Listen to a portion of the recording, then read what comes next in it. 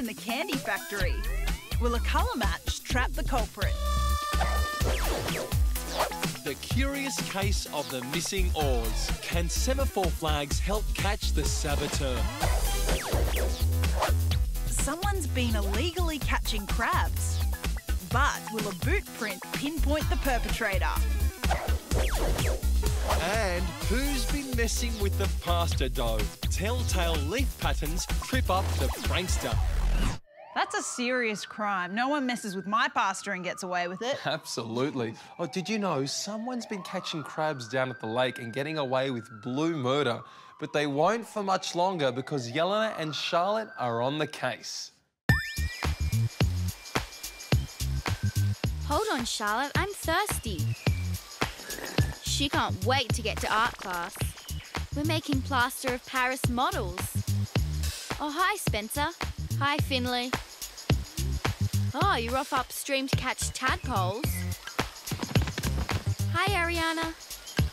Have fun. Okay, Charlotte.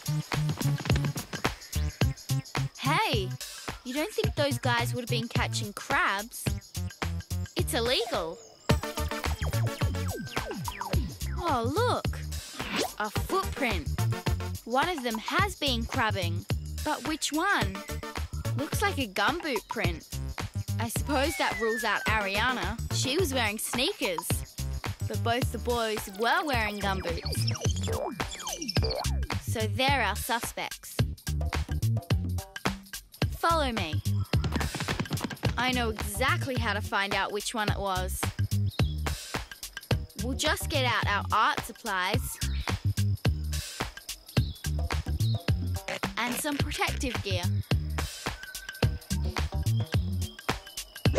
Very fetching. We'll start with hairspray. Now, we just spray it over the print to keep the sand in place. And we'll have our crabbing culprit caught in no time. One of the world's weirdest crabs is called the boxing crab. That's because it carries small sea anemones in its tiny claws, and it uses the anemones like gloves to punch at possible predators. Okay, now to mix up our plaster of Paris. We're going to use it to make an impression of that gumboot print. We just add water and stir it up so it's nice and smooth. Grab that bit of cardboard and we'll head back to the crime scene. Okay, Charlotte, pop that over the print. Nice. Now I'll pour in the plaster of Paris. That should do it. When we get back from art class, it'll be hard as a rock. Okay, let's check our handiwork. Nice and solid. Let's take a look.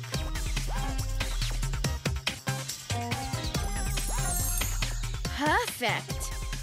A brilliant impression of our suspect's boot. Now to go find a match. Lots of careless criminals get caught because they leave telltale footprints at a crime scene.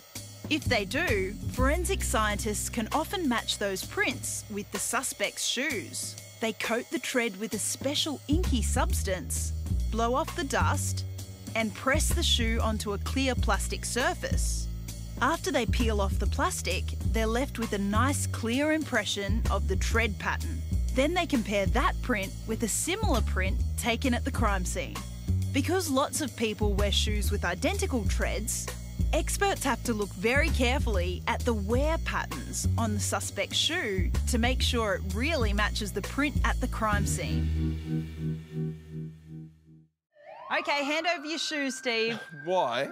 because I'm about to take a tread pattern that will prove beyond a doubt that you, my friend, are one crooked fellow. What? So I'm just going to take some paint and brush it onto the sole of your shoe. Shane, I can't believe you think I'm not a straight up and down sort of guy. Then I'm going to press it onto the cardboard. I ah. really am on the level, you know. Yeah, yeah, look at that. Now we can see all sorts of patterns. We've got the curve of the shoe and all the blotches in the heel as well. A tread pattern that absolutely proves that you are crooked. Shane, how do you work that out? Well, one of your shoes is off and you can't stand up straight. You're crooked, get it?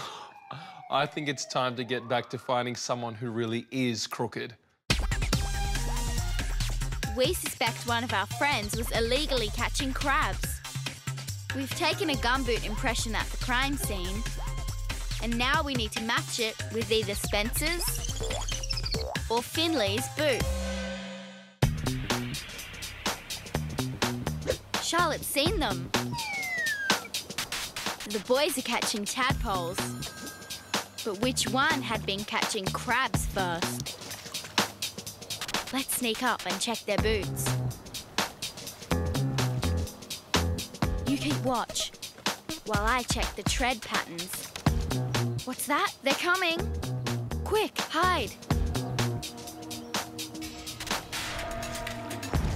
Coast clear yet, Charlotte? Great. Okay, Finley's first. Nah, totally different. I don't think it was Finley, so he's not the suspect we're after. That leaves Spencer. But I better check his purple boots. Ha ha! The patterns are a perfect match. We found our man. It was Spencer who was illegally catching crabs. Nice going, girls. Plaster cast impressions are the perfect solution to taking prints when they're left on material that can crumble or wash away. The plaster is liquid enough to fill all the tiny spaces, but strong enough when it hardens to keep a lasting impression of a suspect's footprint. Hey, Spencer, over here. We've heard you like crabs, so we made you one in art class. That way you'll never have to catch an illegal one again. I think Spencer's crabbing days are well and truly over. Yeah, he'll have to find something else to pop onto his dinner plate. Maybe he could take a few lessons from Stephanie and Jake and learn to make pasta. Bellissimo! There's enough pasta here to feed an army. But we still need to make more. We've got a family dinner to prepare for. And we're a big family. Time for another batch.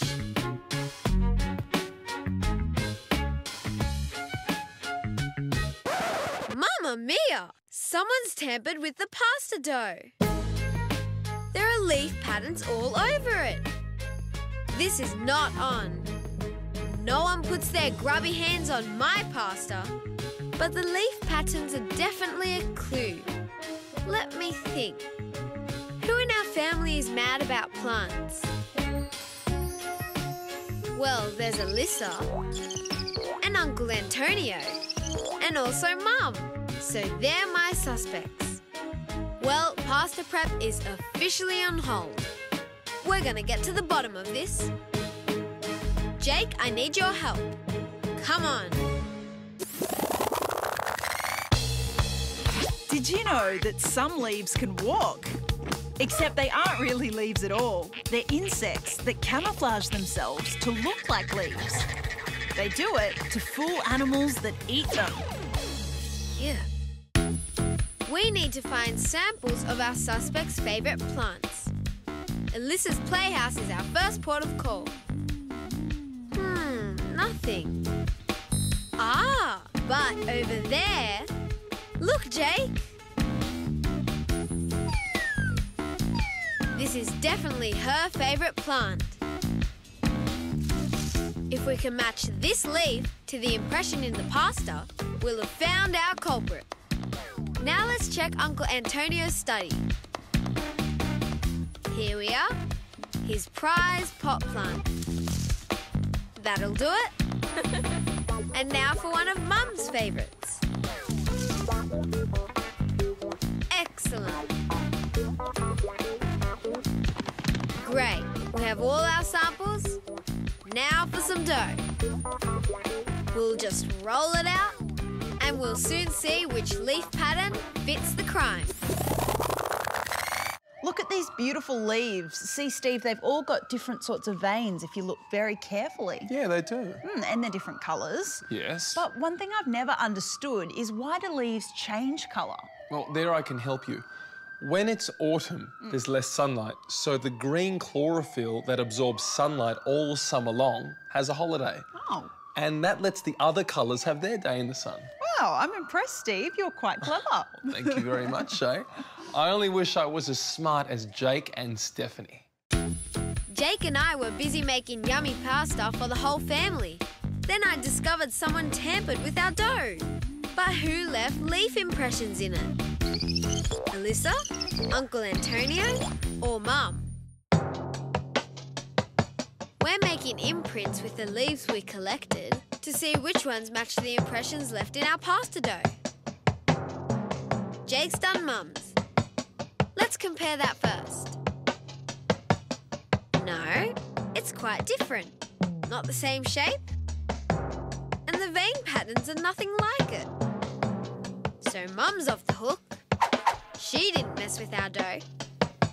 Now, what about Uncle Antonio's? No, it's rounder on the outside. And the veins branch out in the middle. It's not him either. So he's off the suspect list too. That leaves Alyssa. Let's check hers out. Looks good. The same strong main vein and a very similar shape. I think we found our pasta prankster. It's Alyssa. Spot on, detectives. Alyssa was on the way to her playhouse, saw the dough, and couldn't resist making a few improvements. And very proud of her work she was too. But her creative crime was exposed because of the distinctive vein patterns of different plant leaves. Veins are actually tubes that transport water and sugary sap all around the leaf so that its tissues stay nice and healthy. Right, we're going to confront Alyssa. She'd better have a good explanation. She's going to be in so much. Oh, shortbread in all shapes and sizes. For us? Bravo, Alyssa. You are very creative. And luckily, we're quite peckish. Jed and I have been called in to solve this serious crime. Some of my auntie's top selling candy is being swapped for cheap imitations. They look just the same, but they don't taste the same. First up, let's inspect the production line. Wow, look at all this stuff. So this is definitely the genuine candy. But who would have made the switch? There's Lizzie in the office. She's always short of cash. Or maybe Mick, the forklift driver. He could easily switch the goods before loading them onto trucks. Or Ozzy, the warehouse manager. He has lots of mouths to feed. Well, let's bag this genuine one and go look for clues. Ancient Egyptian candy makers guarded their recipes very seriously. It's believed they used honey, figs, and dates as ingredients.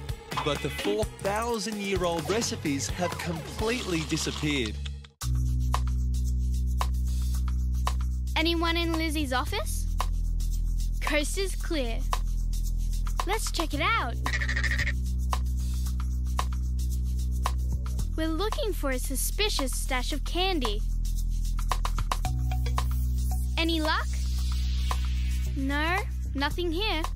She's clean. So we'll her off the suspect list. That leaves Mick and Ozzy, the warehouse manager. Let's head there first. Wow! This place is enormous. Fake candy could be hidden anywhere. But let's start searching. Hold it, Jed. Look! There's Ozzy now, fiddling with some boxes. Phew, he's gone. Hang on. Look here. A box full. But are they real or fakes? Can't tell. We'll bag it. Let's go. Here's Mick's forklift. Aha! A bag of candy. We'll keep this one as evidence. So, that's Ozzy's, and that's Mick's. To the lab. Working out if candies or substances of any kind are fakes or real is a tricky business. But forensic experts can take a suspect liquid and drip it into this column, which is filled with tiny white beads. As the liquid drips through the beads, big molecules travel slowly, small molecules travel faster. This causes all the colours in the suspect liquid to separate. If the colours separate in a particular way, investigators know whether or not it's the real deal. Okay, they look the same colour all the way through. I'm not really sure if they're fakes or not. Well, there's only one way to find out the taste test. Ah. Okay, well, what do you think? Mm, I'm not sure. There's definite flavour coming through, though. Yeah, yeah. No, I can't identify whether they're real or not. Better give me another one. Oh, okay. Yeah, and. Still not sure. One more. Right. Oh, hang on a minute. I think I know where this is going. Let's head back to Jed and Holly before we lose a whole factory full, shall we? Jed and I are investigating a substitution racket. We've collected candies from our two prime suspects. And now we're going to compare them with the real thing to see who's guilty. Okay, now bear with me, Jed. We've got three samples to test and three test tubes. First, I'll add a few drops of water to our genuine candy. Now you stir that up while I add water to our suspect's candy. Then we pop in filter papers and the colours in the candy will creep up this absorbent paper. And whichever one doesn't match the genuine candy is the fake. We'll come back when it's finished.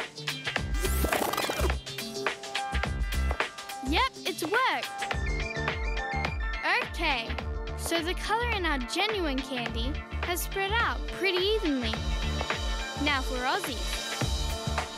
Wow, it looks very much the same. Agree? So the candy we found in the warehouse is the real thing. Ozzy's in the clear. But what about Mick? Yep, totally different. So it's the fake. Mick, you're busted. Sweet work, guys. Mick was sneaking cheap and nasty candies into boxes and shipping them out of the factory. He was being paid off by Auntie's competitor to ruin her business. But Mick was found out thanks to Holly and Jed's ingenious forensic work. Candy manufacturers use unique dyes, and they can be identified because when they're diluted, the dyes are absorbed by paper in a unique way. As a reward for solving the crime, my auntie said we could fill all our evidence bags with candies. Wow, we're like kids in a candy store. Hang on, we are kids in a candy store. Awesome! This was our best investigation ever. Oh, I think I see a big tummy pain coming on. Hey, I hope those two detectives don't eat too many of those candies. Well, they're the lucky ones. Poor old Jelena and Anette aren't going to get anything to eat. It's lunchtime at their boating class, and I think it's a classic case of being up a creek without a paddle. Ranger Claire's boat safety class was brilliant this morning. I reckon Anette and I are heading for top marks. Just load up the dinghy and we'll go join the boys on the boat for lunch. Yep, looks like it's ready. Okay, let's go. Hey, where are the oars? Can't see them anywhere. Someone must have taken them. How on earth are we going to get out to the boat? Yeah, we know. The oars have gone missing. We can't get out there. Oh, this is hopeless. Where are they going now? And what's Anette up to? Yoo-hoo, I'm getting hungry. Two and a half thousand year old Greek ships had 170 pairs of oars. Rowers made up to 50 strokes every minute and reached a top speed of 18 kilometres an hour. Oh, what's that for? What are you doing? Ah, a maritime signal. Nice one. We learned all about that in our course yesterday. a cross is the international symbol for help. Hey guys! Yes, they're acknowledging. They understand. That symbol means affirmative. Okay, we're getting somewhere. Now, how do we tell them about the missing oars? Wait a minute. We can make our own signal. Don't worry, I know what I'm doing. This towel and sarong will be perfect. Hmm, but how do we hold them in place? Any ideas? Aha, bulldog clips. Brilliant.